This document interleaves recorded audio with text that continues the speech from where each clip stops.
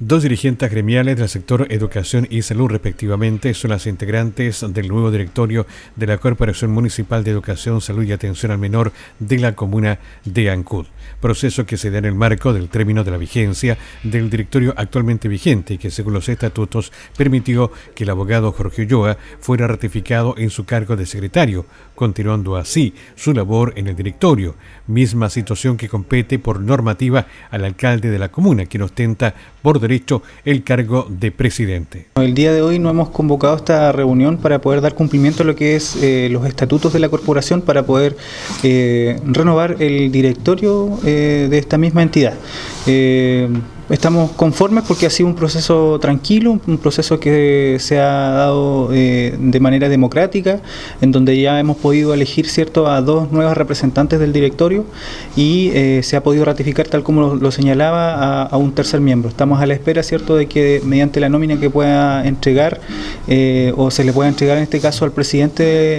del directorio, él pueda definir el cuarto miembro integrante de, de este nuevo directorio para el periodo que se va a empezar a iniciar durante este mes. Señalar que el directorio actualmente quedó compuesto preliminarmente, ¿cierto?, por la ratificación que se hace a don Jorge Ulloa como miembro del directorio y también en el ejercicio eh, de secretario de, la misma entidad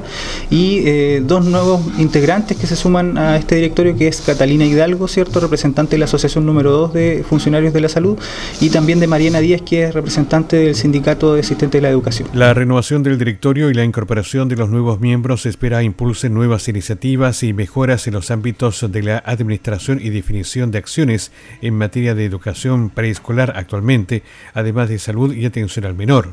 Queremos participar activamente, creemos que es una tremenda responsabilidad eh, estar en esta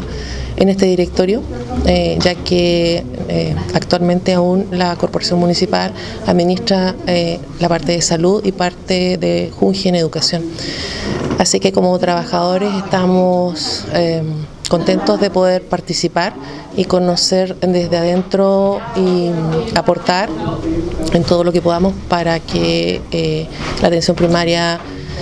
se fortalezca y podamos trabajar también como trabajadores tranquilos y que también los usuarios puedan tener una atención de calidad en nuestros establecimientos. Así que la verdad es que es un tremendo desafío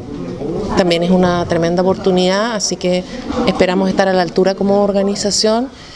y bueno, siempre nuestras puertas abiertas también para la comunidad, nuestros socios, para poder canalizar a través de nosotros, de este cargo, em, lo que se requiera para ir en mejora de todo lo que necesita nuestra hermosa comuna de Ancud. Al margen de los cargos electos, el presidente del directorio, el alcalde de Ancud, tendrá la responsabilidad de nombrar de manera directa a un quinto integrante de una nómina que deberá ser elaborada para estos efectos, completando así la conformación del equipo directivo de la corporación para este nuevo periodo.